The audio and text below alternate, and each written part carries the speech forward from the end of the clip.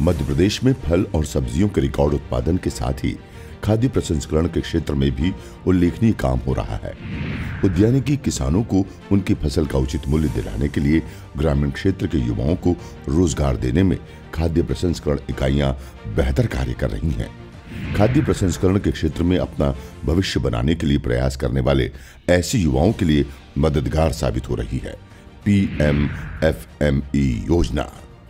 सतना ज़िले के महर विकासखंड स्थित किचवारिया ग्राम के उद्यानिकी कृषक अनिल कुमार त्रिपाठी पीएम एफएमई योजना का लाभ लेकर फलों और सब्जियों के प्रसंस्करण के क्षेत्र में अपनी खास पहचान बना रहे हैं। उन्होंने पीएम एफएमई योजना के अंतर्गत उन्यासी लाख का ऋण लिया और उन्हें उद्यानिकी एवं खाद्य प्रसंस्करण विभाग से 10 लाख का अनुदान मिला। अनिल ने महर में गीतांजलि इंटरनेशनल के नाम से अपनी इकाई की स्थापना की।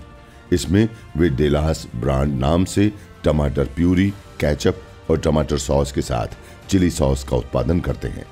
अनिल की इकाई में बन रहे इन उत्पादों की खपत स्थानीय मार्केट से लेकर पड़ोसी राज्यों, उत्तर प्रदेश और बिहार में भी होती है।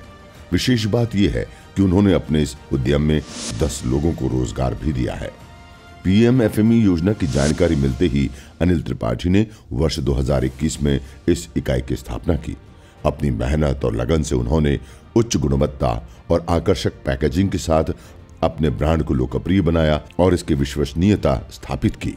वित्तीय वर्ष 2022-23 की पहली तिमाही में ही उनका टर्नओवर साढ़े छह लाख था। अनिल त्रिपाठी आज मध्य प्रदेश में खाद्य प्रसंस्करण के क्षेत्र में सफल उद्यमी है। उन्होंने अपने क्षेत्र के उद्यानिकी उत्पादों का प्रसंस्करण कर एक तरफ़ किसानों की मदद की है तो दूसरी तरफ़ अपने ज़िले का मान भी बढ़ाया है। पीएमएफएमई स्कीम भारत सरकार का बहुत अच्छा इनिशिएटिव है।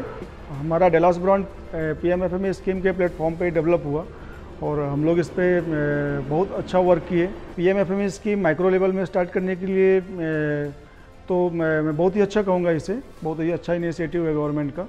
और यूथ को हर डिस्ट्रिक्ट में इनसे जुड़ना चाहिए। वन डिस्ट्रिक्ट वन प्रोडक्ट ऐसे ही यूथ के आगे आने से हमारा क्लस्टर डेवलप होगा, हमारी इकोनॉमी स्ट्रांग होगी।